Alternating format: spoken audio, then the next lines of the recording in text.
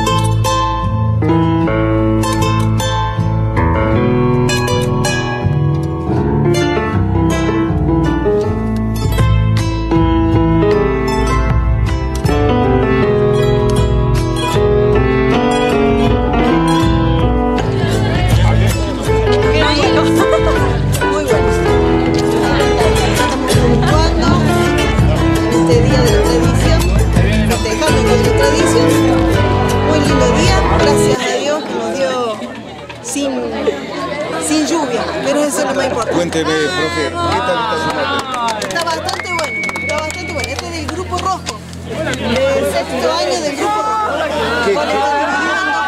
Colores y cada mm, grupo, cada curso se organizó para traer mates, comidas típicas, vestimenta.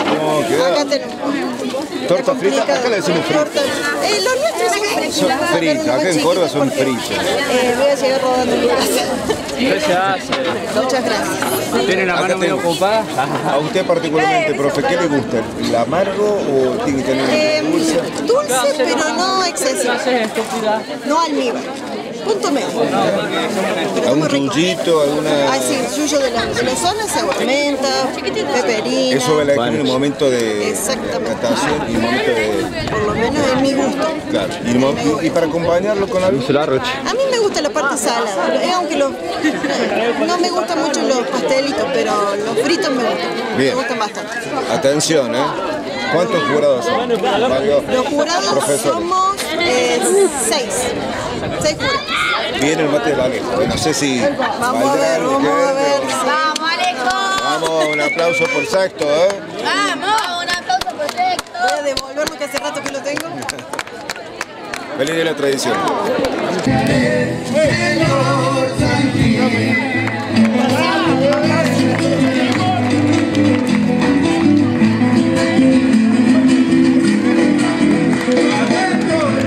Ya se escucha en lontananza el gemido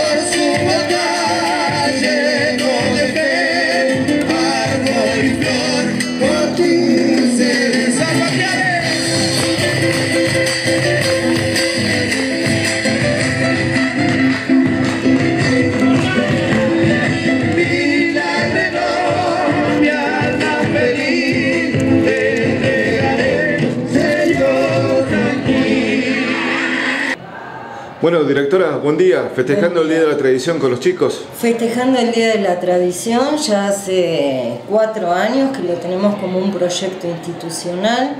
Nos parece que es una efeméride que hay que rescatar y que los chicos la conozcan. Y bueno, en esta oportunidad hay un torneo de mate y comidas tradicionales. Los profesores son los encargados de evaluar y los ganadores le dan puntaje a su tribu. Y bueno, y esto concluye el domingo, vamos a participar del desfile como estuvimos haciendo todos estos años. En esta oportunidad elegimos la temática de eh, el ambiente, pensando lo que nos pasó en esta zona este año con los incendios, el problema del agua y demás. Entonces, bueno, fue una oportunidad para rescatar esos temas y una vez más mostrarle al pueblo de la cumbre que en el IDE se trabajan estas cuestiones. Bien, directora, eh, ya en el tramo final, ¿no? Porque falta menos Ya de un mes. y- Falta un mes, casi un mes y un día, dos días para terminar las clases.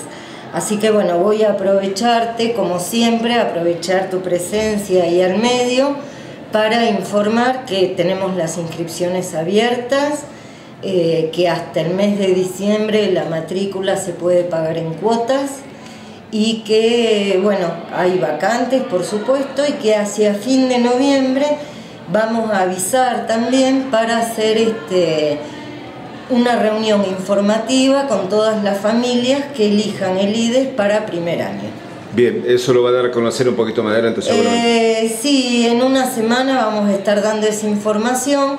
No obstante, como estuvimos trabajando en la articulación con la escuela primaria, hemos mandado notitas a las familias de la primaria.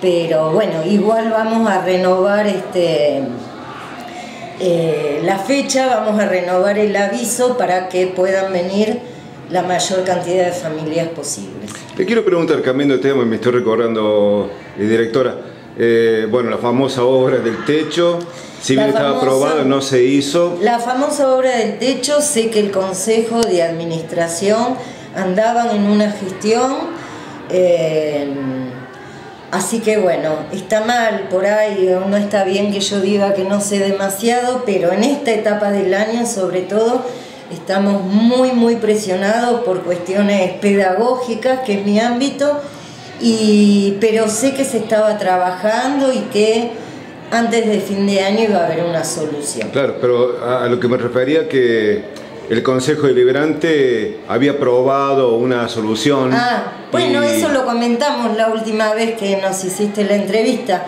El Consejo Deliberante, bueno, tiene sus trámites, su propia dinámica. Y la escuela y la asociación civil que la administra está también buscando su propio camino, digamos.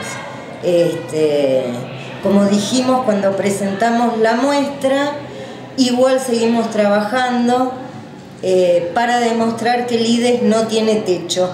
En- de las dos maneras, literal y no literal, digamos. No tenemos techo para el trabajo y no tenemos techo de manera literal.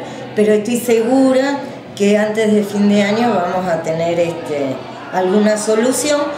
Además de que las lluvias nos vienen tratando, se han compadecido este mes de octubre y noviembre y ha llovido poco para que no tengamos inconveniente con las clases. Gracias, Dere. No, gracias a ustedes como siempre.